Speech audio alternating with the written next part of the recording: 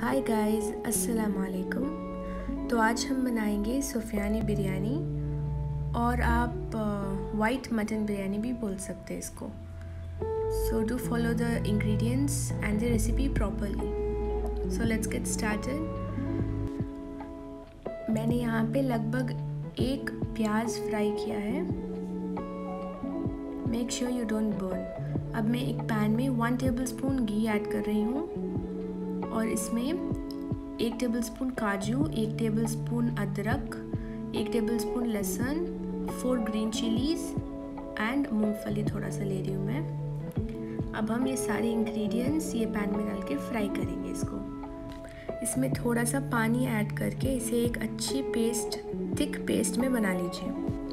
मसाला के लिए हमें चाहिए होगा चार या पाँच लौंग, दो काली इलायची या बड़ी इलायची, एक जावित्री चार से पाँच छोटी इलायची, दो तेज़पत्ता दो दालचीनी के टुकड़े एंड स्टार अब हम जो पेस्ट बनाए थे वो है एंड मसाला भी रेडी है।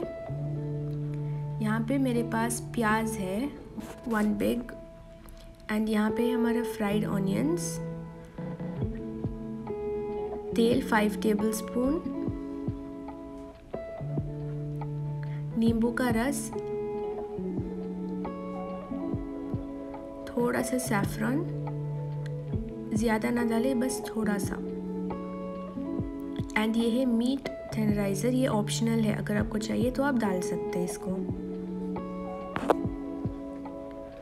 और दही एक फुल कप तो हम सारे इंग्रेडिएंट्स इसमें ऐड करेंगे।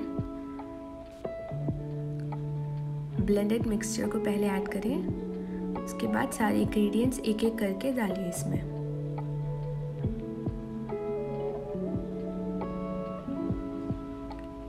अब इसमें जाएगा थोड़ा सा नमक स्वाद अनुसार।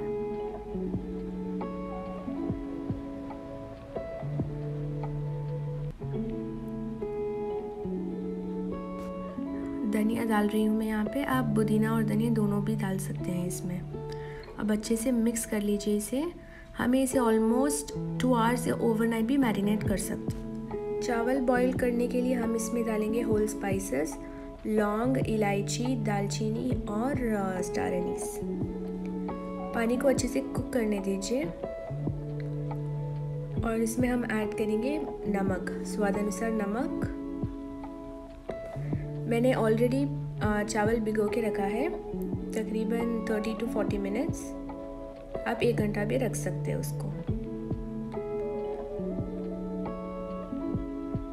अब देखिए हमारा वाटर जो है अच्छे से बॉईल हो चुका है। अब हम इसमें ऐड करेंगे चावल, जो हमने सोक करके रखा है। इसे ज़्यादा देर पानी में नहीं रखना चाहिए। सो अब हाई फ्लेम में रख के जस्ट थ्री और फोर मिनट्स हाई फ्लेम में कुक करिए इसको। अब देखिए हमारा चावल बिल्कुल रेडी हो चुका है। अब इसे स्टेन कर लीजिएगा। अब हम इसमें मैरिनेटेड मटन ऐड करेंगे।